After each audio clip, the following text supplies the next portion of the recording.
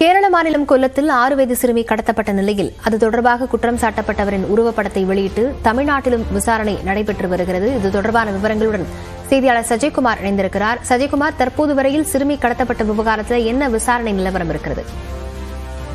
லாவண்யா கேரள மாநிலம் கொல்லம் அருகே நேற்று மாலை சுமார் நாலு மணி அளவில் ஆறு வயது சிறுமி கடத்தப்பட்ட சம்பவம் தற்போது பெரும் அதிர்ச்சியையும் பரபரப்பையும் ஏற்படுத்தியிருக்கக்கூடிய நிலையில் கிட்டத்தட்ட பதினாறு மணி நேரம் தாண்டிய நிலையில் தற்போது கேரளா போலீசார் கேரளாவிலிருந்து அந்த கார் கடத்திய கார் செல்லக்கூடிய பாதையில் வச்சு வைத்திருக்கக்கூடிய சிசிடிவி காட்சிகள் அடிப்படையில் அந்த கார் தமிழகத்தில் குமரி மாவட்டத்துக்கு வந்ததாக கிடைத்த தகவலின் அடிப்படையில் கேரளாவிலிருந்து தமிழகத்தில் வரும் அந்த பைபாஸ் சாலையில் வந்து இரவும் தற்போதும் தொடர்ந்து விசாரணையும் சோதனையும் நடத்தி வருகிறது. அதாவது கேரளா மாநிலம் கொல்லம் அருகே ஓயூர் பகுதியை சேர்ந்தவர் ரெஜி ஜான் அவரது ஆறு வயது சிறுமி அபிகால் சாரா ரெஜி மற்றும் அவரது எட்டு வயது மகன் ஆகியோர் அருகில் வீட்டருகில் டியூஷன் படிக்க சென்றுவிட்டு திரும்பி வரும்போது ஒரு வெ- வெள்ளை நிற காரில் நாலு பேர் கொண்ட ஒரு கும்பல் வந்து அங்கு அந்த சிறுமியும் சிறுமியோட அண்ணனும் டியூஷன் முடித்து நடந்து வரும்போது காரை நிறுத்திவிட்டு இந்த ஒரு கடிதத்தை இந்த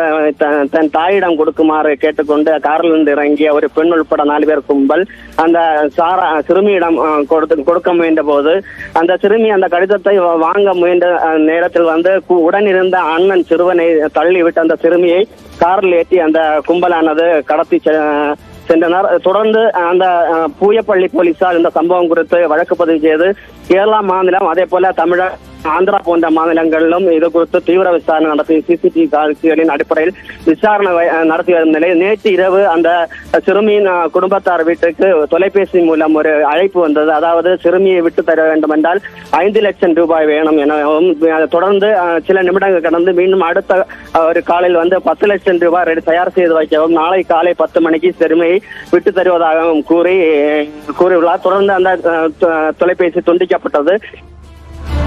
சிறுமியை தேடும் விவகாரம் தொடர்பாக தமிழ்நாட்டிலும் விசாரணையானது தொடங்கவிருக்கிறார்கள். விவரங்களுக்கு நன்றி சஜயகுமார்.